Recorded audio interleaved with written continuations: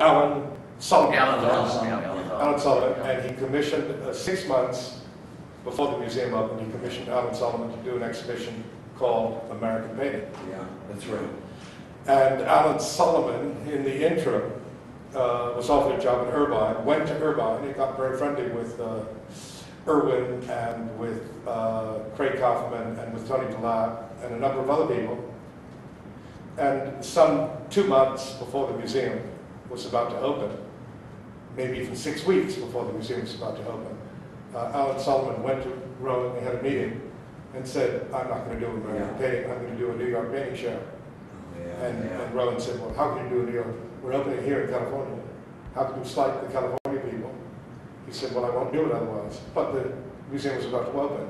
So Rowan said, all right, go ahead. John Coplans He did teach was working as security. Yeah, And Coplans went to Rowan and said, it's just unacceptable. And Rowan said, what's unacceptable? He said that Alan do a New York painting show without some West Coast representation. Rowan said, what do you suggest? And uh, John said, well, I'm going to do a West Coast show Yeah. at the same time.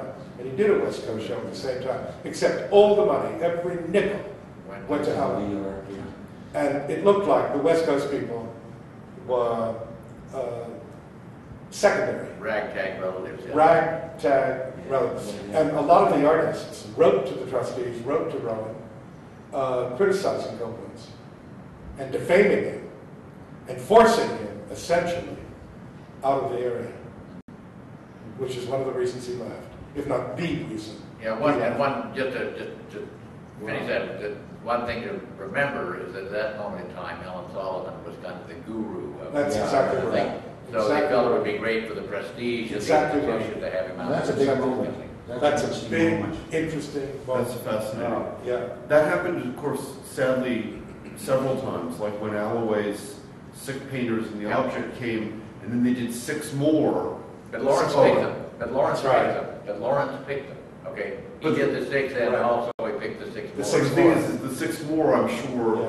I mean, yeah, I have the two catalogs. Yeah. One is a Big big catalog. catalog, and Yes. one Yeah. is, uh, you know, a tiny little uh, brochure. No, Right. Come on, we were at LA County Museum, we had no money, that we did it all was a miracle. Come That's on, right. uh, That's uh, right. The Deborah Solomon, that was her first, uh, she said that was her first uh, museum catalog. Contact you with it, that's right, exactly. Uh, and she did a beautiful job actually with a tiny little brochure. But but let's um one thing in Pasadena, I think when Coplans becomes curator, Yeah, he does I think an absolutely for a couple of years an amazing run of shows. amazing one show. Turrell. That's Serial serious. yeah, wonderful show.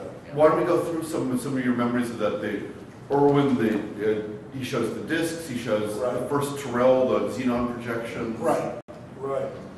Uh, It was a really ambitious program, and uh, it's just so tragic that I was forward. They couldn't. extend, I think. Except that Pasadena might have been the wrong place for. Might have been the wrong place. Museum. In, in, in a way that, driving. in, in in a way that downtown is probably the Yes, wrong wrong place place for MOCA, you uh, know. I mean, had MOCA been built in West LA, I think you would have seen a lot more energy. Yeah. I don't think. Henry, you can get it though. Yeah, yeah. It'd be a place to- Well, why don't we take a five minute break? Henry wants a cigarette. But, All right. but I'd like to pick up on the geography He- of He's this. right on there because he's so close to the scene and to John. That's a John. Well, here's where you've got Henry and, We need and, uh, Howard. wait, Irving check. really, uh, need to get this. Those were really special moments. Absolutely. Of the sixties, what was happening. Oh, absolutely. I think that I that. didn't realize it was happening to seven. I I didn't realize When I had that. gone to board in seventy-two, Ah. I was thinking it was the sixties, the sixties. That's right. This is locked? Seventy-five. Exactly. That shouldn't be. I don't think it's. said, uh, the reason the East Coast people are doing better than we're doing uh, has a lot to do with your interest. And I thought that was completely unfair. Can I say, I want to say something in Irving's uh, favor here. I, when I got there and he opened the gallery, I observed very quickly what he was dealing with, with his so-called stable. Because these were uh, headstrong, outspoken people, even though together they were fairly collected, but Yeah. individually, each guy had uh, his shtick, you know? Right. And I looked at Irving, and I looked at, uh, especially Irving, because uh, Walter didn't seem to you know, it sort of suited Walter. But I saw, I saw so much of Irving's time and energy going to uh, keeping uh, peace in that group of rascals. I like these guys, but I said, I could never deal with that. I don't want that kind of gallery because I know what you have to do. And I can't do both, you know, I can't go and, and make connections in New York and become internationally oriented myself and do this if I have to deal with six or eight mavericks, you know. Well, your relationship, it sounds, was very different artists that you represented. Well, I didn't, Clearly I never assembled a, a quote, stable of people who were in daily touch with each other. They were not encouraged to be a a clubhouse. This was not a clubhouse. And uh, my, my gallery was much more like a club, you know? Yeah, So right. I, I- I encouraged the fact that it was Yeah, like but, a but, club. but. Well, that- there is a- But, but I had ultimately paid a big price for it. Yeah, but there's two sides to it.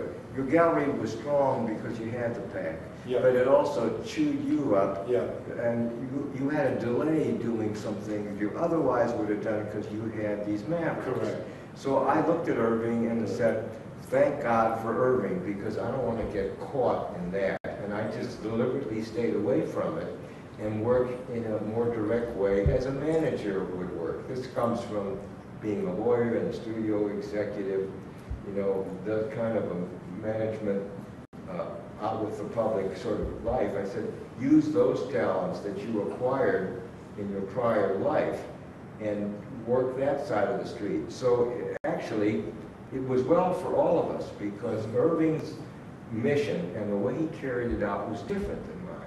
But together, it was a total, more of a total picture. It was That's true. very, very good. but- but- Wasn't- I wasn't would, it? I would, I would add. Which is why we got I on so well. Very Just for one minute, and, Yeah. and the, uh, it, it seems to me that a lot of this gets down to one major issue. We talked about it last night a little bit, uh, we talked about it yesterday morning quite a bit. The influence that Art Forum magazine had when it was on the West Coast, it was Mm. literally dealing with a lot of West Coast people before it moved to New York. Right. When it moved to New York, there was no publishing, absolutely no publishing on the West Coast. And the whole New York scene obviously had every publication under, under the sun working out of that area. That was one factor. The second factor was that when people in New York saw an Irwin painting reproduced, okay, they said, oh, it looks like- just like.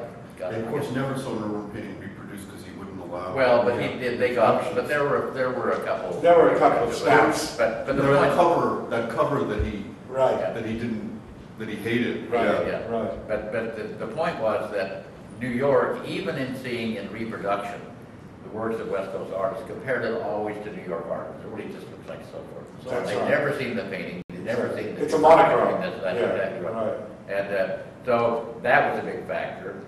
Uh, the third factor clearly is that New York was not interested in showing Los Angeles artists. You remember that from the early Bengston show, when he went to Martha Jackson and bombed, okay, and that was, the- that was it. And then the fourth factor that gets into Ed, to or the comments that were made, is the fact that occasionally now, certain people like Larry Bell were gaining a broader audience. They were actually being seen in New York galleries, as a matter of fact, as was Ed Ruscha, for example, being seen in, what's his name, well, and later, Oh. then later Leo, you know, but Yeah. before that time. Uh, and these were the second generation artists after the pack, okay, and so that was grading on them. Absolutely So, great. Well, let's talk about. Not if you too don't- happy about Bell's success. No, I know. If you don't mind, can we talk about Larry Bell? Please, Because that uh, seemed to really sort of blow things apart at a certain That, point. that was one issue that blew things apart.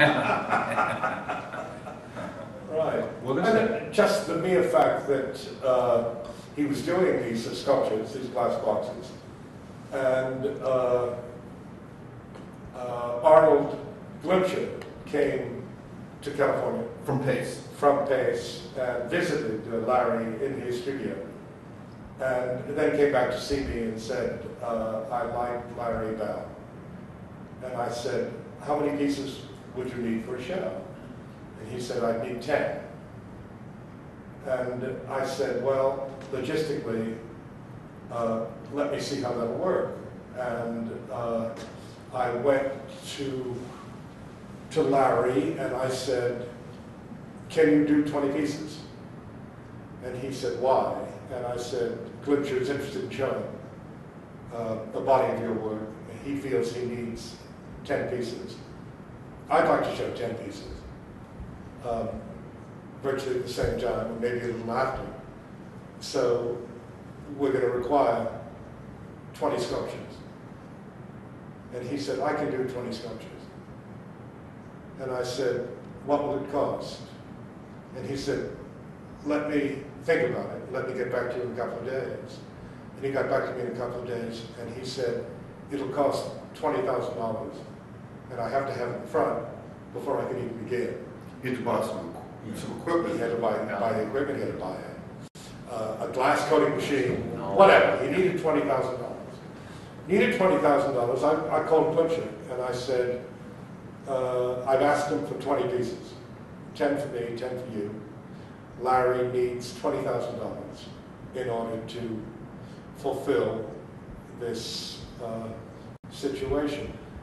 Glimcher said, I'll give you 10,000 for the work that I want. I said, great, great, that's a beginning. Um, so I had $10,000.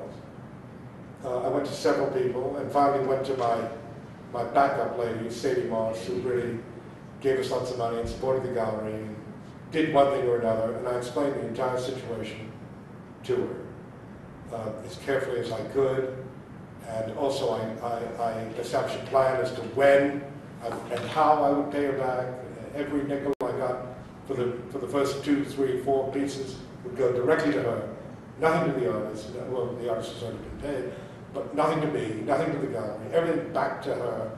And I assured her that I had sales for the work, for at least half of what it was I wanted. She said, Irving, I will give you ten thousand dollars. I called Larry immediately. I said, Larry, I've got twenty thousand dollars. You can begin this enterprise. Um, Larry said, great, how did you do it? I said, for me to know, for you to find out. That's right. Next day, Billy Al Bengston comes in the Oh, gallery and says to me, Irving? I said, yeah. He says, I want twenty thousand dollars. I said, Billy, you don't really understand. He says, I want twenty thousand dollars. I said, let me explain. He leaves, walks out of the gallery. And that was it. Listen, And never came back. Er- er- uh, Larry Bell moved eventually to uh, Taos. And I showed up in Santa Fe in uh, 80, about 83. And uh, I rather quickly looked up uh, Larry, because I hadn't seen him in a long time. He was uh, delighted to see me, and was very warm from the beginning. And he, uh, he had these, you know, recollections of our scene, and, and we had something in common, is that I left and he left. And he told me what it was, his perception of what was going on, you know, in his world. Larry is entrepreneurial, has an entrepreneurial core to himself. Correct. And he was able, when he got off on his own and he went to Taoist, he became, he taught himself to be an impresario, you know, uh, a stage manager, uh, guy who puts his own graphics together. He became an entrepreneur and his business was himself. And he did it exceedingly well. With one problem.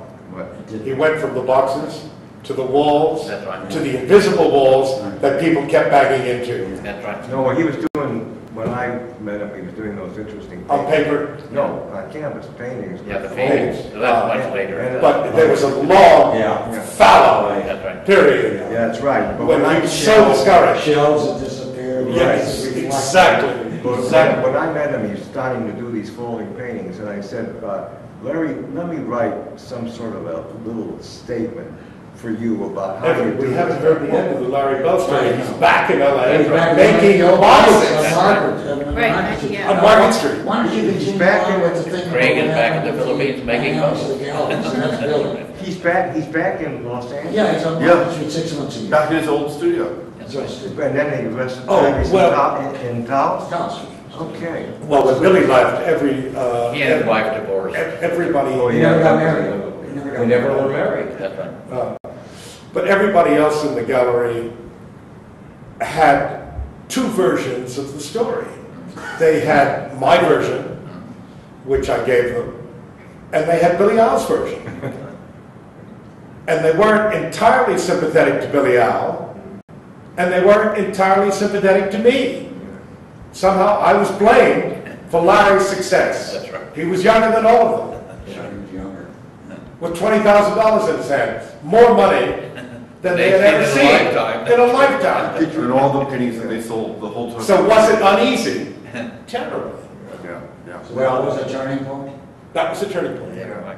That was a turning point. That's when it went from a club Club to, uh, with uh, enormous a affection. Isn't that human nature though, in anything that happened, Yeah. whether it's Picasso, Matisse, or Of Well, let's yeah. talk about, because on the, Rock, uh, you know. on the, the, almost the opposite of, of that story that Irving's telling is the relationship between artists and Gemini, where it seemed that from the beginning, you made it part of the business to, you'd meet them at the airport, you'd have transportation for them, you'd have a place for them to stay, you had plenty of people on hand to. I was, I was thrilled about Gemini from the beginning because they were showing a lot of the people that I was showing, Right. and they took most of the burden. Yeah. That's right. They took most of the first. class They were rate, paying for hotel rooms. hotel. That's You right. Kelly would come out, stay at the Chateau Marmont. you It know. never seemed to be, now Richard says it's four seasons only. Oh, at the Four Seasons, Richard, the proletariat. It never, it never seemed to be an issue.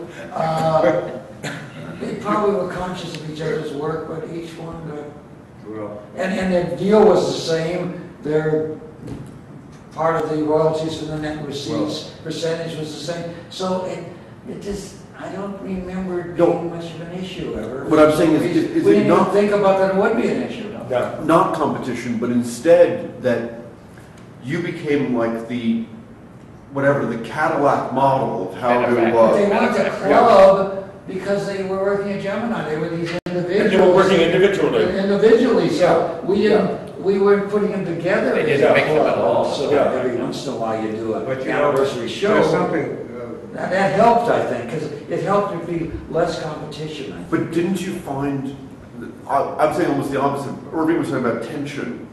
Well, it seems to me that at a certain point, after Gemini really gets going, Yeah. everybody wants to get that call There to was come and work at Gemini. yeah. And they're, they're, the, the only competition would have been, well, they haven't approached me yet. I think that was uh, some, it's hard for me to But, accept that part of it, it may have happened. Well, there- But I think also, there was some, I mean, Albers was always very conscious of what the prices were. Yeah. And, yeah, Ellsworth is conscious. But you were- you were- of Is he? Very conscious of prices, and so. But there they was- like to There was compare- always a They comparison. always like to compare to Jasper. Yeah, right, so that always made it easier, because they accepted he was. But see, it was a- Yeah. So it was a that made They it couldn't stand it when Jasper sold for fifteen thousand know, but dollars. they had somehow accepted. That's right. There's, there's a different model here. In your business, uh, the nature of the product and, the- and the channels of distribution of the product required you to- to start work with somebody who, who was, uh, uh, more than a rookie. You had to start with people who had been established and had some experience. Irving had the courage to get this group of rascals together, and uh, they were arrogant and unsure all at the same time, bad combination.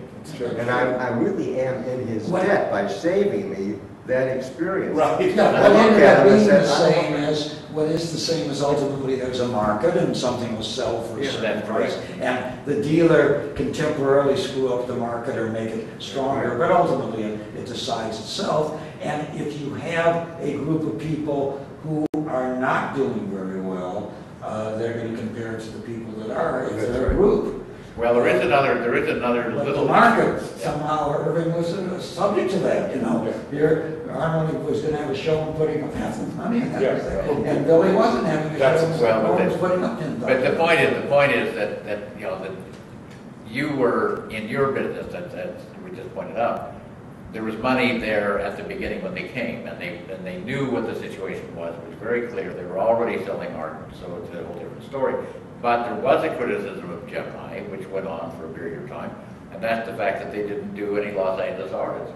Now, they did Altoon, obviously, they did, they did Ruscha, did Kenny Price. We but- probably seven, No. six or seven. I know, but yeah, six or seven, that's not very many when you get right down to it. But the point is that But that was a criticism. It was a criticism, Yeah. that, that they, that they were just doing the blue chip New York people. Yeah. I would rather take the criticism of virtue women. Yeah, and then, Sir- but then Sears It's- started. It's of course been Some the, things began. been, been the criticism Of everything. of every, MoCA That's right. doesn't Yeah. show local or Black- Blackberry doesn't Yeah. show local. I'm not sure Billy didn't, didn't, uh, because we never did Billy. But- So I don't think Billy was part of the And I think that's- criticism, because Billy was- had that sort of public. Billy was fabulous to one extent. He was the first artist out here that I knew of that said, we need to control our own markets more and know more about it. We are lambs, we're being taken advantage of. He overstated it, but up to then, a lot of the artists, that wasn't an issue. You, you showed, you got paid, sometimes Right. you didn't. And Billy set up, he called it Artist Studio and made the artist very aware of the business end of it. That's Talk a little bit about his showroom. His- his Sure, showroom. right. When he tried to set himself up. He tried to set himself up, exactly, exactly. Larry did it more intelligently. Well, Larry, I told you, Larry was a God-given entrepreneur. He made the right moves in the beginning, and is tough. I mean, he knows how to do it. Uh, Reed But I, knows but you how have to be honest and say they have both suffered by being, working outside the system. I don't care how you, Well, people who work how you outside phrase the it or system, what you say, they Absolutely, both suffered. absolutely, Larry it, absolutely too. I have a It's always wonderful. While, while I in general have nothing but good things to say about Chairman, I have a, a more pointed critique that I'd like you to talk about, which is that when Nick Wilder left the business in seventy-nine, he said, he had this comment, he said, the major artists, some of which I represented, got too expensive for me to say, sell in LA. I couldn't, I couldn't get fifty, sixty thousand a canvas here. So that left me showing younger, less established artists. He said, but why would someone spend five thousand for one of those paintings when they could get a Jasper John print for the same The amount? same of amount of money. It's an Yeah. interesting statement, but it's a different buyer. Well, it's a different I mean, it's It is a different buyer. It's, it's a statement that's naive in its way, because uh, the people that want the younger artists to be part of that would like. Not gonna be happy with a- unique- with a Jasper unique print. Painting up there, or a sculpture, than a Jasper Johnson. Well, but, print. but, but. So but it does print- overlap some, but not as Yeah, much as that. Because prints then became, you know, they became very expensive in the minds of people who've been buying them for a hundred dollars like Right. myself. Uh, and it did become a thing that sat on your living room wall, was a Jasper Johns print or whatever, it was a Rauschenberg, whatever. But Irving, you made a point earlier, and I know it's a statement that you made in the past, where in Los Angeles, you simply couldn't sell works of art over thirty-five thousand dollars. Over the price of a BMW. uh, That was the cutoff point. That's the cutoff. Well, let's follow up on this because it ties back to something that we didn't go through fully, which is the Hollywood. What, what the young dealers tell me here Yeah. is that it's a sheep mentality. So if you work for CAA and the top agent All of it's- has a Lichtenstein painting on the wall, Yeah, the junior ones all get Lichtenstein prints. That's right. yeah. That hasn't, that hasn't traveled as well. No. Look at, No. the, the entertainment industry has had a history that hasn't changed a lot. Number one, you're Correct. no better than your last picture or your last thing, Right. and there's no foundation there. Very few of them have the, the feeling that they can go out and spend money, uh, because they don't know what, they're gonna be a failure maybe the next year. Vincent So, Price there's is that classic problem. point, but yeah, Vin- Vincent Price said to me, you know, I because here's, here's a wealthy man living in a lovely house in, Yeah. in, in Beverly Glen with, uh, still working, making horror pictures and so forth and so on. And we were chatting one day and he said, Henry, he said, he said, you just have to understand, he said that, that I never know if I'm gonna be able to make another movie again. He said, that's, uh, and if I It's- don't, I've a gotta take care of mentality, myself. And And it's great if you're fundraising, if you want glamour a dinner, if you want someone to appear. Yeah. They've been fabulous for that, and so we shouldn't put them down. But there's always this feeling that there's a lot of money there, whether it's collecting, and there are some exceptions in anything, but it's never been there in comparison with uh, uh, industrial people. Well, the- the money is there, but the ego is there too. But- but- Well, Yeah, there's yeah, any sensitive to criticism, pure criticism. Yeah. Oh, yeah. One side, slide remark, and, and they Out. don't want to look at Yeah, that. so it's, it's, it's, it- I don't think it's ever gonna be a lot different than that. I mean, what's amazing to me, I mean, because a friend of mine, he got a fifteen million dollar bonus last year. He was involved with, uh, uh, Lord of the Rings. He did, I mean, that's the kind of money, and then you, because you can't tell me that they can't afford a fifty thousand They dollar can, painting. more than they did, and it's, there's a little more of it, but it's not stable. Well, Somehow there's a feeling I may need that for the rest of my life, because I may not do another Lord of the Rings. Also, there's a kind of hurdle equating art with money. A lot of mentality. never get over that hurdle. that's right. what? They just don't, equating art with money, you know. Yeah, A, yeah, a- a- a lot of them never get over that Image. hurdle. Image, about an Just a- image, what is the art, what image, Yeah. rather than someone that really, you know, you think creative people, but sometimes it doesn't travel. Well, Love another creation and that, and there's Well, some of that. And there are a few, It like Steve Martin, represents- for example. Yeah. Steve Martin is the exception. Yeah, Yeah, Steve yes, Martin's the exception. right. Well, Absolutely. Can I ask, when you spoke before, you were saying, you were referring to Hollywood as what a big disappointment it was. Mm-hmm. So I guess what I was wondering is, what was the expectations? Well- Where- How were they going to come in to be supportive? If you think- Well, I'm saying- system? Without having- I, I- I'm saying a couple of things. I'm saying, one, that, um, that in the sixties, these collectors were accessible. And there are a string of collectors today in California, like Geffen, like Steve Martin, like Ovitz, like uh, Eli Broad. You can't call them. You simply can't call them. There's no chance that you can see what they have because you can't even get through to them. Uh, You, you go to a secretary, and the secretary says, What's your business? Well, uh, I'm a collector, and I'm interested in seeing what. He'll get back to you. You never hear from him again. It's just impossible. It doesn't happen. Uh, that's, that's one aspect of what I was saying. The second aspect of what I was saying is that by this time, there's a history here. I mean, people have been buying art. People have been buying art successfully for a long time uh, in, in California. And you would think that the movie industry would become alert to that, would be aware of that, and would somehow be responsive to that, and would somehow follow in certain, certain people's footsteps. You'd think that Steve Martin, who has a brilliant collection, house here, apartment in New York, would have five acolytes, five people saying, Gosh, Steve, you've done brilliantly here. What did you pay for that? What's it worth now? That much more? Wow. Where do I go? Direct me. Help me. I'd like to do the same. But he doesn't. It doesn't happen. He's not I understand surrounded that by happens those kind of as people. much. He's not- It happens, but. Hollywood people Fraction. do not have Don't a, feel solid enough. Hollywood people don't have a confidence in their ability to select. No, They buy it's the true. one, put it up, It's true. and then have enough ones, adds up to a, he calls a collection. And then he's sort of done. They may not feel they have the time either to really go into it and really Well, study. they're just not hip about, many of them are simply not involved with contemporary art. Know, Exactly. The, the people that Exactly. would buy art Yeah. in the time that we're talking about, in the late fifties, early sixties, would buy a third-rate impressionist painting, because that's what they, Yeah. But they the funny thing marked them as something special. is that these, these no more uh, elegant individuals like a Robert Ethel Scull on the East Coast became huge pop art collectors. You would think that a lot of these Hollywood people would be the West Coast equivalent, but it didn't happen. It didn't Well, They happen. had an It instinct didn't from happen. Scull was. Someone like Scull, I think, had an interest in getting into the social group. into Exactly. Interest, that was- Exactly. And so Exactly. That was his golden light. That's his golden light, and the guy had no So if you're in the motion picture No history. you're not, not part of it. Well, no, you just made the most important point.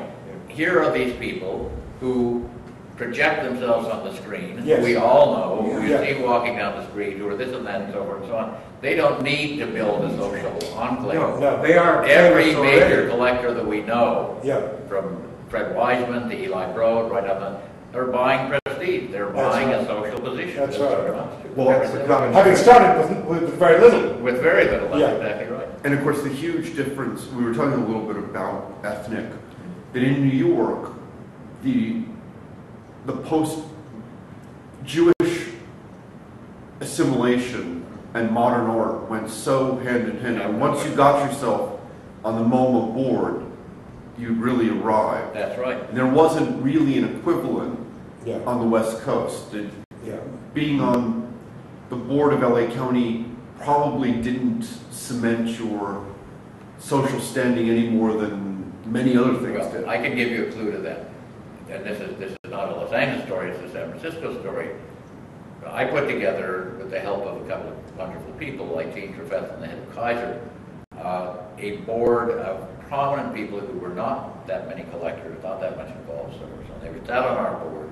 We traveled all around the country. They met Leo Castelli, they met Andre Emmerich, they met Irving, they met this, they met that. Uh, They met the museum people, and suddenly they were asked to sit on the Museum of Modern Art Council of Drawing. So they were asked to sit on the board of the National Gallery, or whatever it may be. Yeah. Yeah, it's absolutely pure social climbing, you know, and, and I'm not making that a negative, it's an American phenomenon, but that's, Yeah. but that's exactly what it was, you know. Yeah. And now they are Yeah. making Well- shots and saying, all right, you know, And that had some aspect of the religious, but it goes in a lot of ways. And again, not to put it down, someone like a Peter Norton Yeah. Wanted to use that money to get into places that was there. He So it goes open about it. past a religious thing. Oh, The. Jews were excluded more from kind of certain social things, but it was, uh, it's, a- it's, a- it's a way, but um, uh, it, there, there still are plenty of real collectors and people who love the art and love the creative part. be of it. honest, Jewish, Jewish people have more passion, that's very simple. Well, They're able to show it easier than you More money. Like, I- I'm an honorary Jew, you know that as well as I do, but this was. The big thing is that there weren't many, especially in New New York, sorry, in the late forties, for, there weren't many avenues for that social acceptance for Jews, and, and modern art was one, and I think that's why that was That's so important. That's a good- Now, of course, there are, I There was always opera and uh, theater, some other But see, we didn't I mean, after, after, um, Henry left, uh, opera, ballet have been other big Yeah, I mean, uh, after Henry left San Francisco, of course, the generation of uh, Silicon Valley and entrepreneurs, that was, the The SM new Global became their, Well, it used to, you know, it used to be family and inheritance, now it's just money. yeah. That's right. Just money. That's right. That's how it's changed. But see, in, in New York, the social structure was such that uh, Robert Scull, whose only claim to fame was a string of Taxis. taxi cabs. that Not a very big one, like 20 cabs, big deal. Uh, This, uh, The great, the great, the great thing I remember. Well, don't say when you need a I got cab. a- I got a, a Christmas card, the Scull family sitting in their dining room, giant Rosenquist over a sideboard, long table, Mr. Scull here, Mrs. Scull here, the two boys sitting on French furniture with plastic doilies. all right.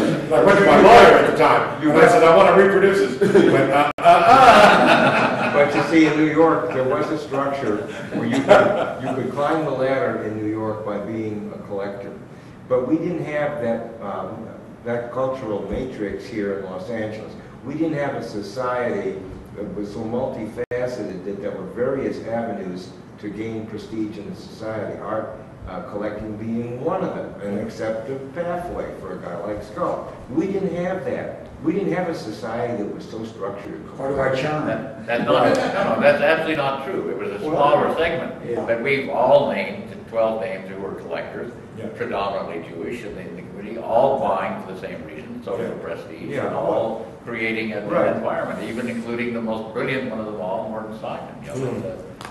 That's a- that's a- Do you think really Norton did it with a... Well, he had passion, I mean, He he had had passion. passion, he had passion, he had intellect, but, but that still didn't stop. Even though he was initially. supposed to abstract art. Because art. he It didn't is a- want to be too involved with institutions until he finally built his own. Yeah. I mean, he was on the board of LACMA early, Right. but he, uh, he wasn't an institute. but suddenly He someone, was in them showing, so he wouldn't have to store it somewhere. That's exactly right. insurance. Yeah. That's what I'm talking about. but, but a big difference, I mean, you can tell me still, but I think as someone who knows, but I mean, it seems like it would have much more social cachet in Los Angeles to be on the board of Cedars-Sinai than it would be to be on the board of It does. Blackstone. Dictated one of the things, I was shocked by, one of the most prestigious boards in the country.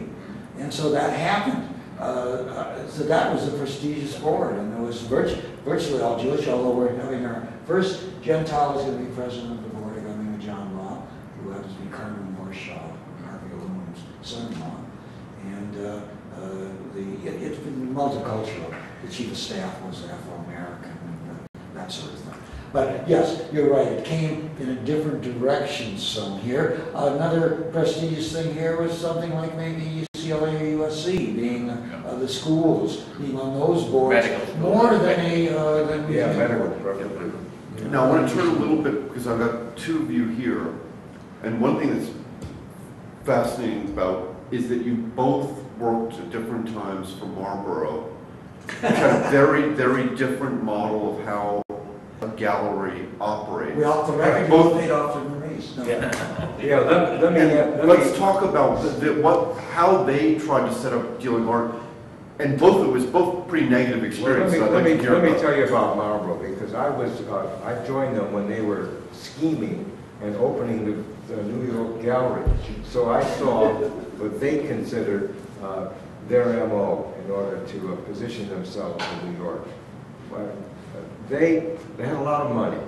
I mean, the Marlborough had made money, it had investors over in Europe, I don't know who they were, but he was, Frank Lloyd was banked in the beginning and he did well. He came with all the money you could want to establish a beachhead in New York. And he, he had enough money to woo any artist away from somebody else by giving him a better deal with guarantees and even a draw. So he comes to New York and uh, uh, he rents a whole floor of a nice office building on 57, In just a few steps from Madison Avenue. Right. And I mean, it was a big floor. It wasn't as big as my gallery, but for New York, it was huge. And he lays in a slate floor, completely slate, all the way across. Hires the, the architect, who, who, MoMA's architect, uh, Green, well, Bonneville Green. And he puts in a very fancy space, and he waves the money around, and he moves enough artists from New York as a foothold, and then he, he handpicks his, uh, from his European group, artists who could show well in New York. So he, he knew that he had the power to come in and get a beachhead on, on the way he liked to do it. And he, he, missed no tricks. You know, once the gallery opened, uh, we had an elevator, three elevators in the building. Uh, on Saturdays, he'd go down to the guy that ran the elevators, and he'd give them a fifty dollars each uh, for Saturday, so that when anybody says Marlborough, he goes, he takes the elevator to that floor before he lets anybody else off the elevator. But let's, I, I want to hear, because the, the Frank Lloyd was, was, let me just, have whatever you like, guys, but we're gonna go to lunch in fifteen minutes. I couldn't resist, I'm sorry. Irving and Stanley? Take whatever you want, but we're gonna go to lunch in fifteen minutes. Oh. oh. Sorry, guys, sorry. Irving, come on now. Uh, So let's, but let's hear about, because Frank Lloyd, to me, is kind of the pre